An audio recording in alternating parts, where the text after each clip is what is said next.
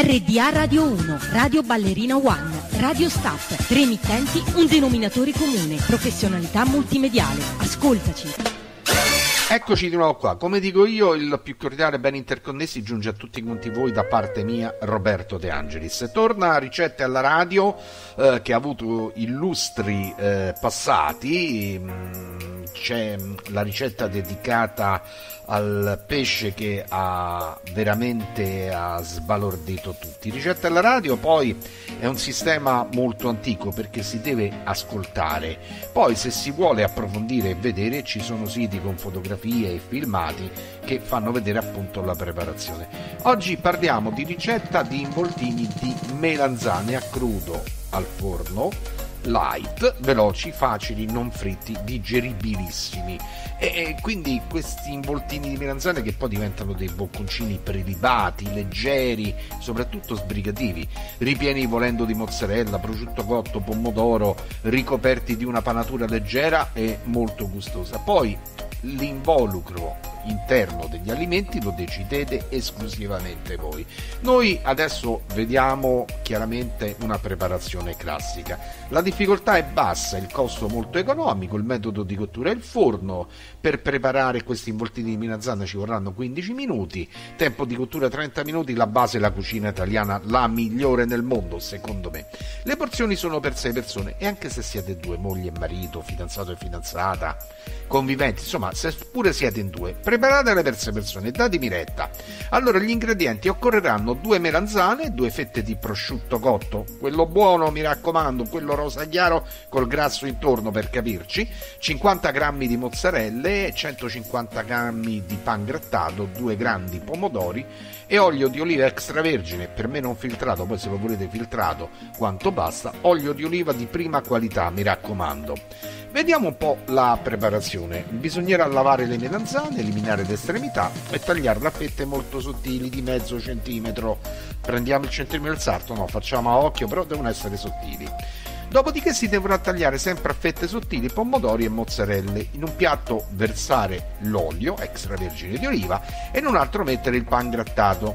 Adesso bisognerà adagiare bene le fette di melanzane prima nell'olio e poi nel pane premere con le mani per farlo aderire bene, posizionare le fette su di un piano e farcirle ognuno con una fetta di pomodoro, una di mozzarella e il prosciutto cotto.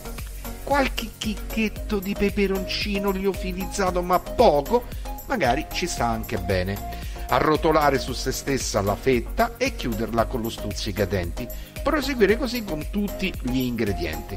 Dopo che avremo finito la preparazione eh, dell'interno di questi involtini di melanzana dovremmo disporre i medesimi gli involtini in una teglia unta di olio extravergine d'oliva, condire con sale e olio tutta la superficie, quindi mi raccomando, tutta la superficie dovrà essere condita con sale e olio e infornare a 180 gradi per circa 30 minuti. Gli esperti ci dicono 27, 30 minuti a 180 gradi secondo me vanno molto bene.